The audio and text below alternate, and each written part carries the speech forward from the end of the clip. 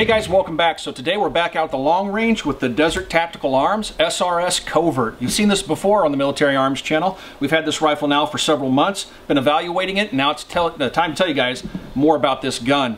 This rifle, as you see it configured right now, is chambered in 308, but the nice thing about the Covert, or the SRS chassis in general, is the fact that you can quickly change calibers. We have several different calibers out here this afternoon. We have the 308 that's in the gun with the 16-inch barrel with this muzzle brake. We also have a 300 Win Mag barrel that's 20 inches in length and fluted, and we also have an 18-inch 338 Lapua barrel. So Changing the calibers is super simple to do. We'll show you how that's done here in a little bit, but I want to talk more about this gun, how accurate it is, and also talk about the price. Let's touch upon that here really quick. The price of this rifle, just the chassis, that doesn't include the barrel, bolt, or magazine, is right around $3,000. It goes up to about 3,600 bucks depending on how you configure it. Then once you have a chassis, you also have to buy a conversion kit, a caliber for it. That includes the barrel, bolt, and magazine, and that starts at right around $1,490, can go up to right around $2,000. So once fully configured, these rifles can get pretty expensive. Are they worth it? I don't know. Let's find out. Let's get going, guys.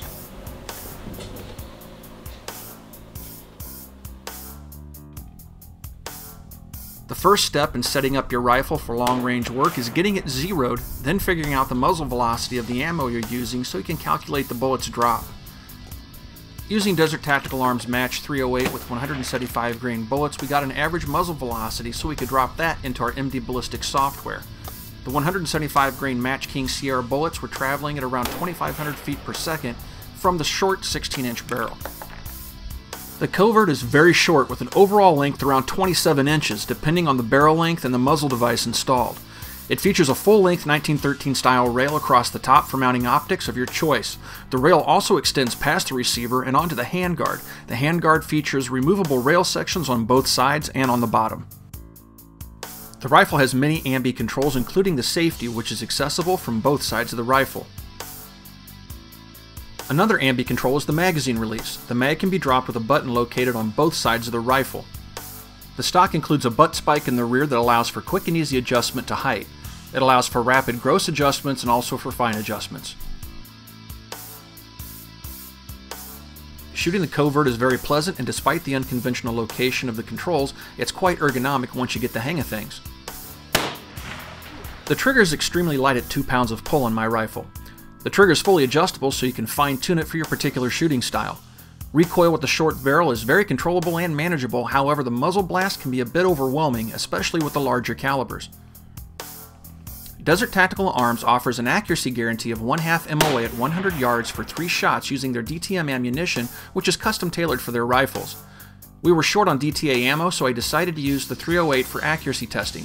We had more 308 ammo on hand than other calibers. Did the covert live up to the accuracy guarantee of the company?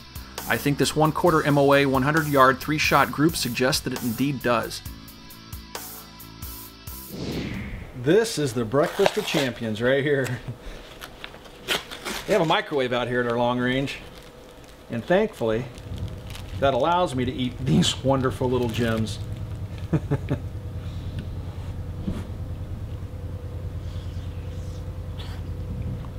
That's hot so good. Ow! Holy oh.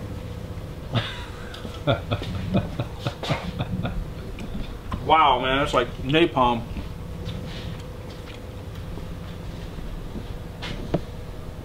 Let's take a look at how you do a caliber conversion on the SRS Tactical or how you can just simply remove your barrel.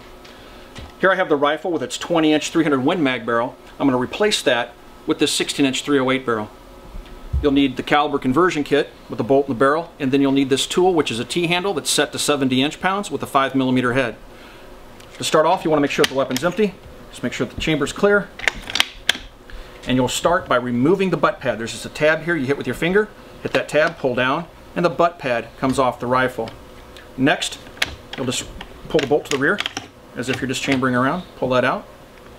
And now, you can remove the barrel. There are four bolts here just above the pistol grip, and that's where the T-handle comes in. You're going to back these screws off. You're not going to take them out. You're just going to loosen them.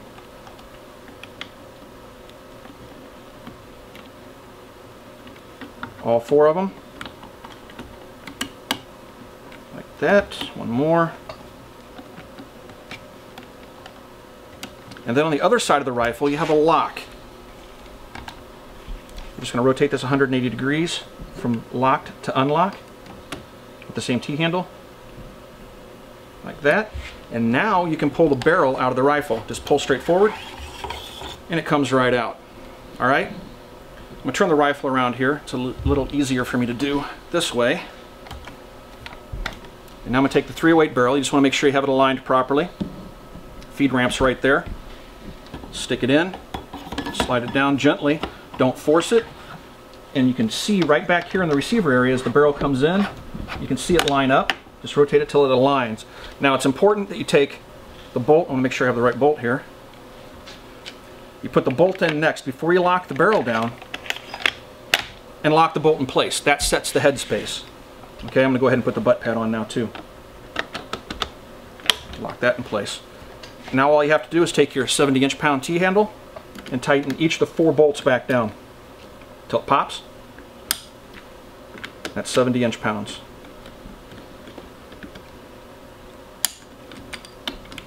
All four of them, no particular order. I'm just working from the front to the back.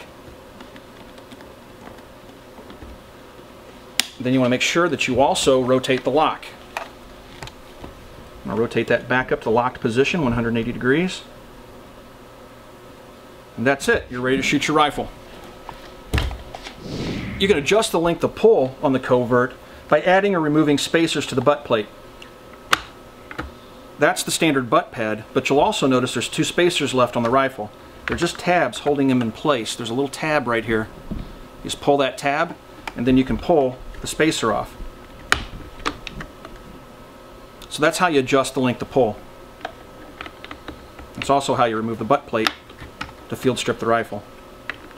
Kind of like Lego blocks, just put them in place and press, lock in place.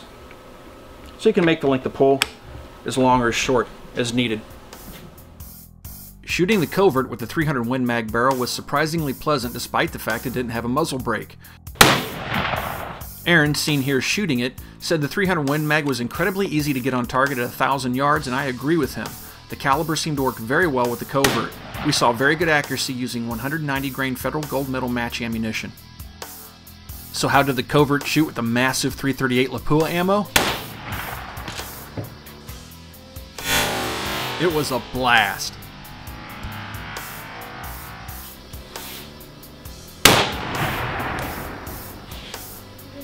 Yeah.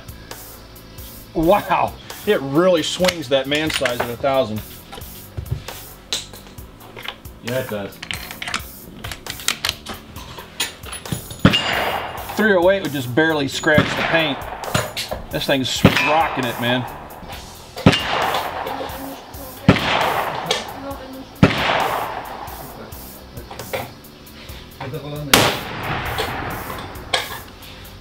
Look at that thing swing. That's incredible.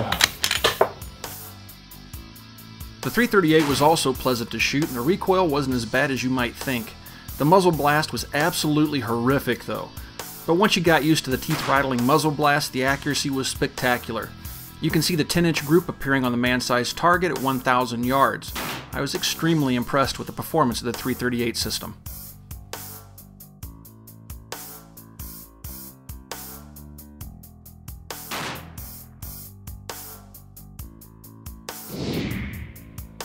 The Desert Tactical Arms Covert is unique in the marketplace due to the fact it's a bullpup bolt-action precision rifle.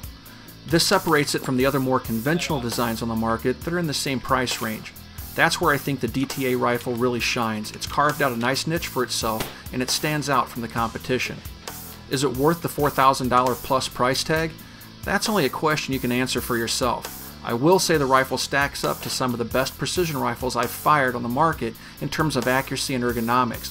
However, the bullpup configuration isn't for everybody. If you decide to go with the covert, you'll have to get used to the unconventional design. I've seen some folks struggle with the bolt handle until they familiarize themselves with it in its rearward location. If I could change one thing on the rifle, it would be to make the safety lever a bit more positive by having a more solid detent for the safe and fire positions.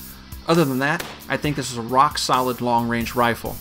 If you guys have any questions about anything you've seen in this video, you can ask those questions on our Facebook page. You can find us on Facebook at www.facebook.com forward slash military arms. Also, please swing by and check out the Bang Switch. It's the Military Arms Channel blog. Thanks for watching, everybody. We'll talk to you guys soon.